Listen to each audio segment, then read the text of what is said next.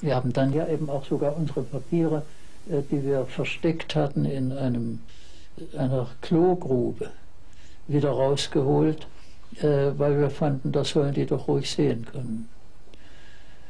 Dann aber erfuhren wir, dass sie unter anderem offenbar auch den, Antrag, also den Auftrag hatten, einige von uns wegzuholen. We picked these people up and I was very determined that ich war entschlossen, die deutschen Wissenschaftler weiter festzuhalten, um mehr über ihre Arbeit herauszubekommen. Wir brachten sie dann nach England. Nur dort gab es die rechtlichen Voraussetzungen, sie festzuhalten, bis entschieden wurde, was zu tun war.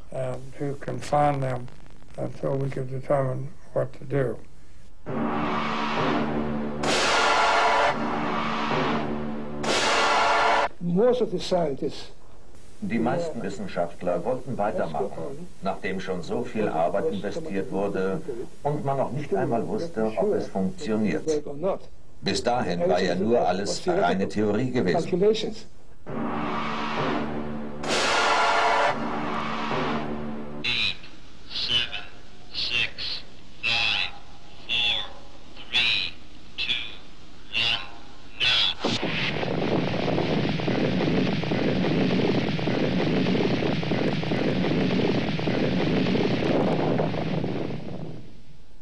Yes, where I was, the, I observed the Trinity test.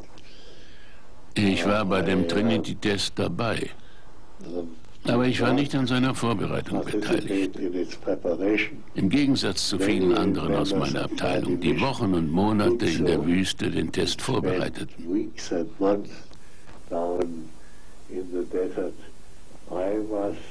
Nach der Testexplosion wurde ich mit dem Jeep zum Hauptquartier gefahren, um an der Auswertung der Messwerte teilzunehmen.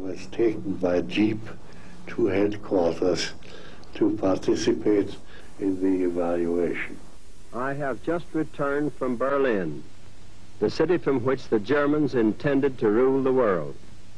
It is a ghost city. The buildings are in ruins. Its economy and its people are in ruins. The Allies, uh, the United States, uh, had uh, another opponent. Die Vereinigten Staaten hatten noch einen anderen Gegner, der immer noch sehr stark war. Deshalb verlagerte sich der Kriegsschauplatz auf Japan.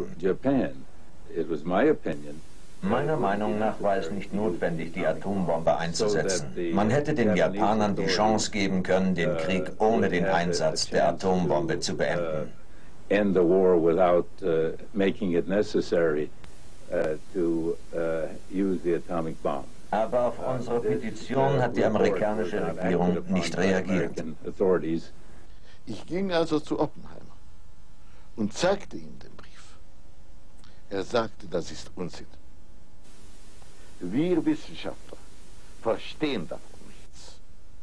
Die Leute in Washington wissen das ganz genau. Wir sollen uns mit diesen Fragen nicht beschäftigen.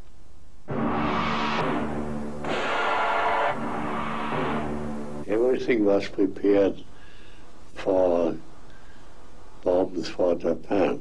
Alles war für die Bombardierung Japans vorbereitet. Wir wussten sehr wohl, dass unser Entwurf der Bombe noch gar nicht ausgereift war. Da wir nicht wussten, wie lange der Krieg mit Japan noch dauern würde, war das Labor und Teile der theoretischen Abteilung damit beschäftigt, die Bombe zu verbessern. Vielleicht brauchen wir zwei Bomben, vielleicht auch hundert. Und die späteren sollten besser werden als die ersten. The later ones to be better than the earlier ones.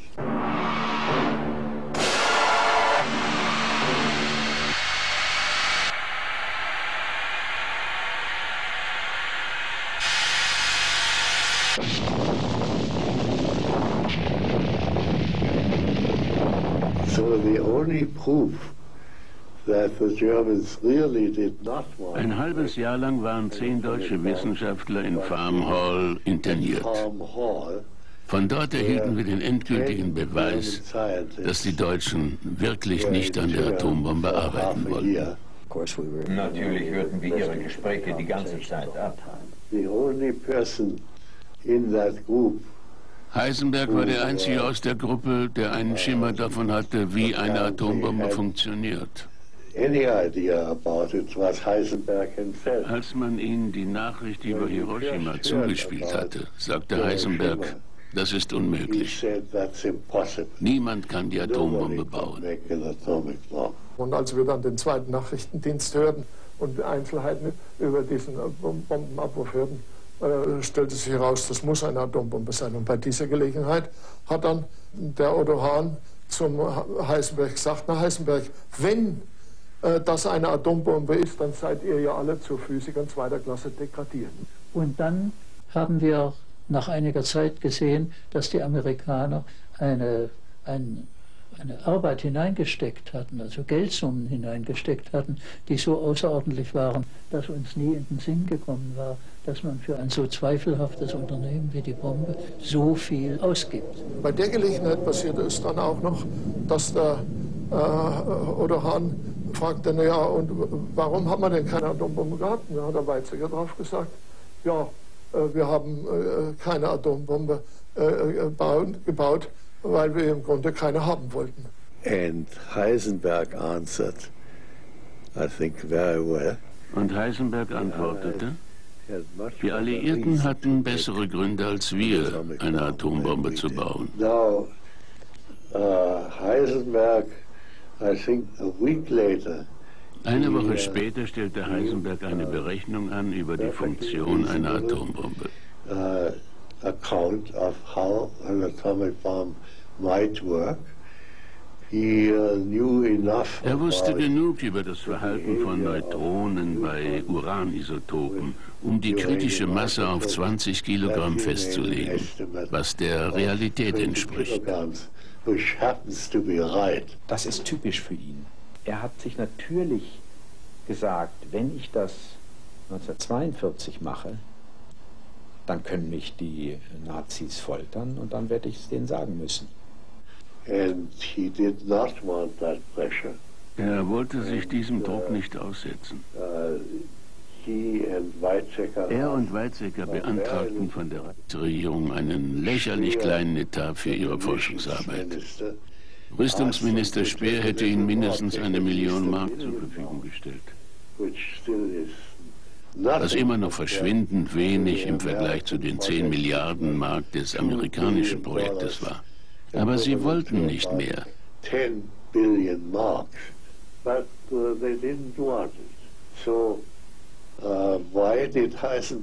Warum hat Heisenberg sich dann überhaupt an diesem Projekt beteiligt? Er dachte, es wäre seine Pflicht, wenigstens ein bisschen an dem Projekt zu arbeiten, um junge deutsche Wissenschaftler vor dem Tod an der Front zu bewahren.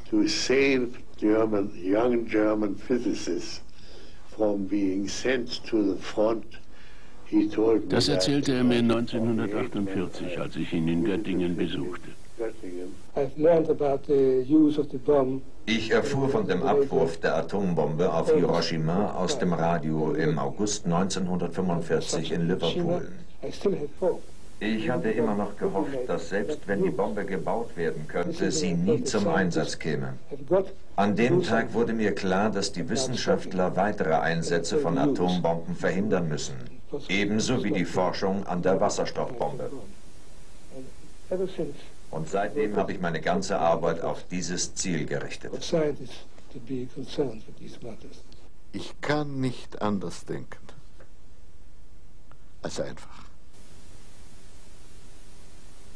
Die Verantwortung des Wissenschaftlers ist die Wissenschaft. Wir müssen das fertigbringen, was kein anderer fertigbringen kann. Wir müssen wissen, was es zu wissen gibt. Wir müssen anwenden, wo man anwenden kann. Wo man dann die Anwendungen wirklich anbringen soll, das ist eine politische Frage. Und in einer Demokratie ist diese Frage nicht zu beantworten von irgendeiner Minorität. Die muss beantwortet werden vom Volke selbst. Oder aber, wo das die einzig praktische Möglichkeit ist, von den erwählten Vertretern des Volkes. Uh, ich glaube, es war 1952. Ich war der leitende Kernwaffenberater, als General LeMay mich zu sich bestellte. General LeMay war der mächtigste Mann der amerikanischen Verteidigungspolitik. Wenn die Sowjets aufgemuckt hätten, hätten wir sie von der Erde ausradiert. Ich ging also in sein Büro. Ich war ziemlich nervös. Er sagte, setzen Sie sich. Ich hatte ein paar Jahre zuvor mit ihm zu tun gehabt und er mochte mich irgendwie. Er sagte, weißt du, was ich von euch will?